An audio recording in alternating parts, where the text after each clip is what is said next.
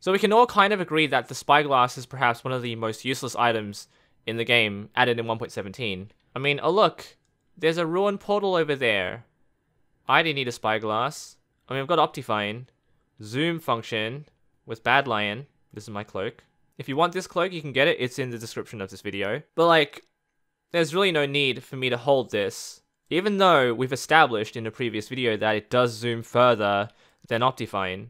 You can compare it. It's obviously a lot closer. But why do we need this? Why do we even need this item? It there's really no need for it. Well, I've come up with a way.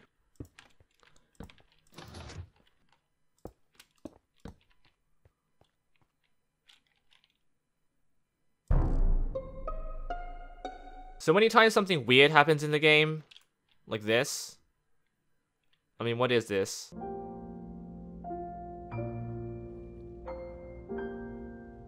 Like this, you just take out your spyglass, and you zoom. That's all.